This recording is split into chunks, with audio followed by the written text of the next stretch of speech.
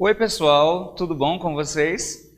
Estamos aqui hoje para uma aula especial, uma aula de comemoração, uma aula de parabéns, uma aula de feliz aniversário para nossa cidade, Ipojuca, que hoje completa 176 anos de emancipação. Porque lá em 1846, no dia 30 de março, a cidade se emancipou e se transformou em Ipojuca, uma cidade livre, emancipada. Cidade, ok? E aí eu queria começar a gente vendo aqui, ó, por exemplo, fazendo um pequeno passeio por essas duas igrejas. O convento de Santo Cristo e a igreja de Nossa Senhora do Ó, que estão no distrito sede e no distrito de Nossa Senhora do Ó. Porque, como vocês sabem, a pessoa que mora em Nossa Senhora do Ó, a pessoa que nasceu é, em Nossa Senhora do Ó, que nasceu em Porto, que nasceu em Camela, que nasceu em Serrambi, são todos ipojucanos, porque tudo é Ipojuca. Não existe Ipojuca e Nossa Senhora do Ó. Não. Nossa Senhora do Ó faz parte de Ipojuca. Ok? Beleza? E aí eu queria começar com esse lado sagrado da comemoração, porque a gente sabe que existem duas procissões muito importantes aqui, que é a procissão de Nossa Senhora do Ó e a procissão do Santo Cristo, né? Que os nossos pais, nossos tios, nossos avós, nós, né, participamos também, não é isso? E é uma comemoração, é uma homenagem tanto ao Santo Cristo quanto a Nossa Senhora do Ó. E esse é o lado sagrado, né? digamos assim, é uma festa sagrada, porque é uma festa religiosa, beleza? E aí nós temos a nossa juventude, a juventude pojucana, não é verdade?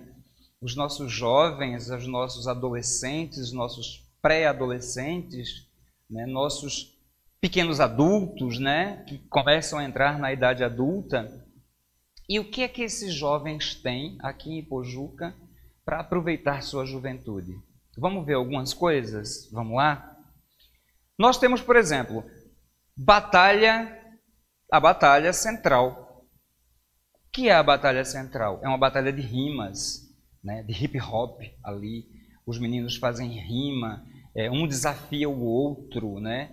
Enfim, e tem encontros né, na praça da cidade. Aqui a gente vê, por exemplo, é, duas chamadas, né? Uma, inclusive, com o tema da consciência negra. Vejam que importante, vejam que bacana.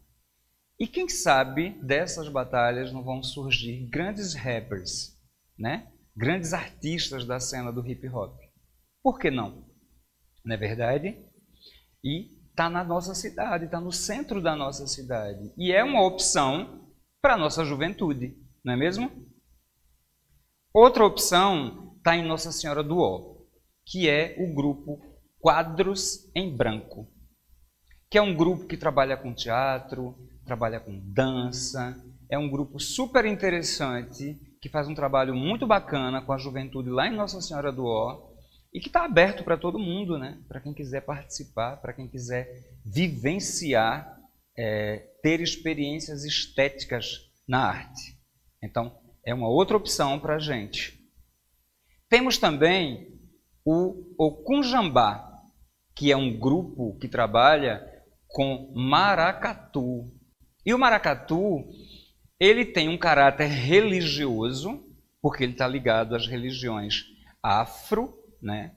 dos negros que vieram trazidos como escravos, vieram da África, aprisionados em seus países, escravizados, famílias que chegaram aqui foram separadas, que chegavam em Porto de Galinhas, né, e por isso Porto de Galinhas tem esse nome, que era para disfarçar a chegada de escravos que chegava aqui no, no, na, na praia. E esse grupo ele resgata a questão cultural da, da, da cultura negra afro e a questão religiosa também, porque o maracatu está ligado à religiosidade do povo negro. ok? E é muito importante, é muito bacana. E aí tem um trabalho com instrumentos, tem um trabalho com a própria dança, tem um trabalho com essa cultura de uma forma geral e que merece muito ser conhecido. Temos também aqui na sede do município o grupo Educandarte, que foi uma experiência que nasceu lá em cima na escola do B, né, com os alunos e depois ganhou a comunidade ali no campo do avião e que hoje se apresenta, se apresenta em aberturas de ano letivo, né, e que proporciona a crianças e adolescentes o contato com o teatro, o contato com as artes, que é tão importante para a formação e para a construção da nossa personalidade. É extremamente importante, ok?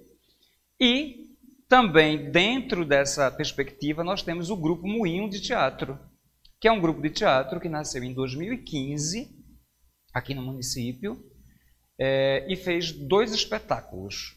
Ele fez um, um aquele que diz sim, aquele que diz não, e recentemente, em 2019, ele fez o Até Quando, que fala sobre a violência contra a mulher, sobre as relações abusivas, as relações tóxicas, né?